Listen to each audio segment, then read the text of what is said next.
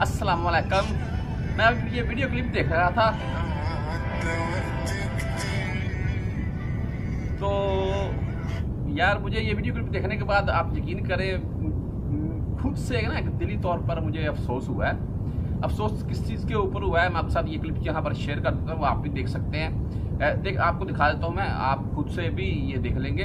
शिरका मौकफ है जी? आपको पता है सऊदी अरेबिया में ये इनके पास वेंच होती है, कहीं भी कोई गलत पार्किंग करता है तो उसको भाई आगे वाले टायरों से उठाते हैं और गाड़ी ले जाते हैं। तो यहाँ पर आपको शायद मैं वो क्लिप अभी चलाना, दिखाना शुरू भी कर चुका हूँ, आप देख सकते हैं। ये भी कुछ ऐसा ही हुआ है, ये एक बुज़ुर्ग हैं जी, इनकी गाड़ी कहीं इनकी तरफ़ से पार्क की है और ये कुछ ऐसा रश वाला एरिया नहीं है आउट ऑफ़ सिटी एरिया लग रहा है। तो वहीं से वो गाड़ी उठा ली गई है इनकी। तो ये पीछे भाग रहे हैं बाकायदा।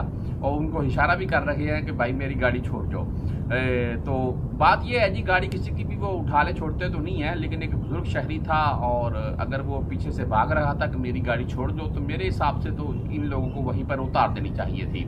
और उनको उन, उसको यही कहना चाहिए था कि बाबा जी आगे से ऐसी पार्किंग कहीं भी मत कीजिएगा। लेकिन चलो, जो कानून को बेस्ट लगता है जी कानून करता तो वही है।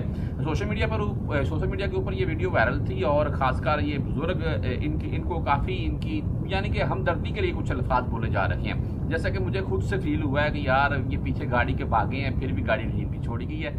आपकी क्या राय है?